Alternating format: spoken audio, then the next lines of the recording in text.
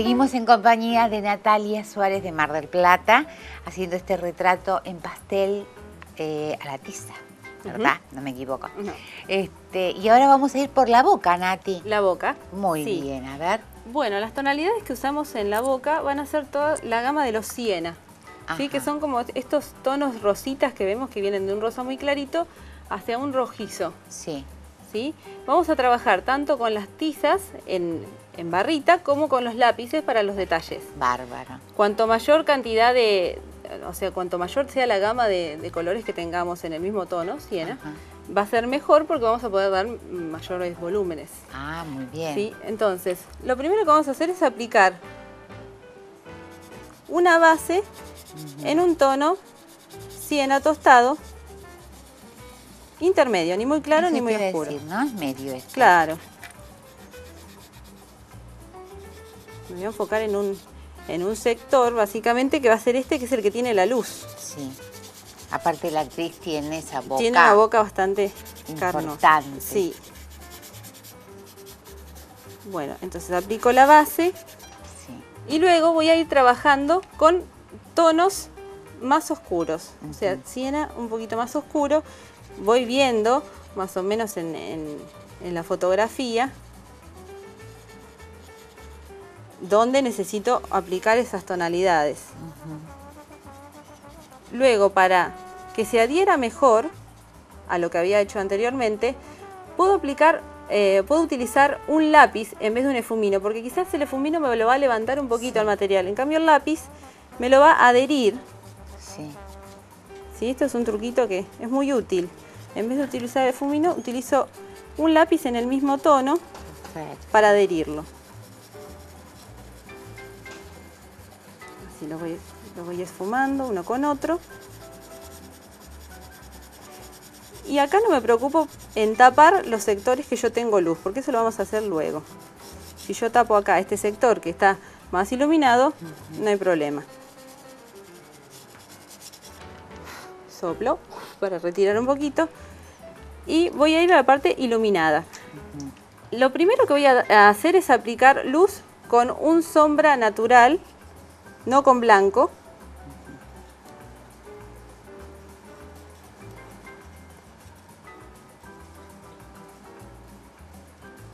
Bien. Y me voy a ayudar de un lápiz blanco para esfumarlo un poquito. Siempre el blanco trato de reservarlo para los, las tonalidades, o sea, para las luces más plenas. Perfecto. Por eso apliqué ahora un sombra natural y no el blanco, porque cuando quiera hacer luces más plenas, ahí sí voy a aplicar el blanco y en forma así como con puntitos. Sí, perfecto. Ahí está, sí. Voy a ir viendo más o menos el dibujo que tiene la boca de la modelo que elija o del modelo. Y básicamente esto sería la parte de luz. Acá voy a realizar lo mismo, solo que no voy a realizar, no voy a aplicar luz porque no tiene eh, luz ahí. Eh, luego, si yo quiero realizar los dientes, que es una parte bastante difícil, los dientes. Atención, los dientes, que esta es la disyuntiva, a ver. Sí, los dientes. Algo que no se debe hacer es hacer los dientes blancos, porque quedan muy artificiales. Sí. Entonces, yo voy a fijarme en la foto. Hay, hay veces que los dientes tienen tonalidades eh, la gama de celestes. En este caso yo lo veo más, tonos más cálidos, como amarillentos y verdosos.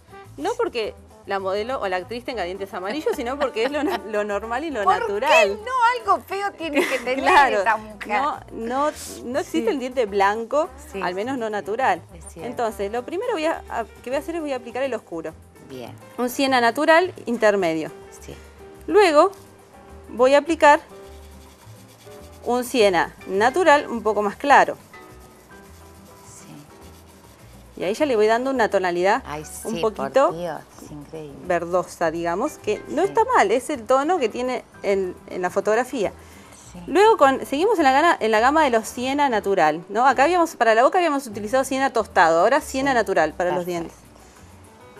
Y vamos viendo qué tonos tenemos que aplicar. Yo veo, sigo viendo amarillentos, Inclusive, después, lo que voy a hacer es con un siena tostado en lápiz clarito, no muy oscuro, voy a ir dándole algunas sombritas que yo vaya viendo.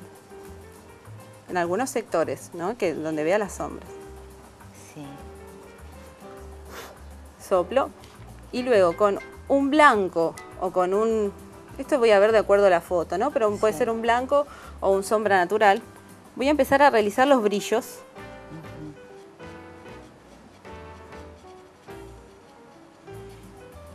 Puedo hacer también un rebordecito arriba del diente, que es lo que me va a indicar el grosor.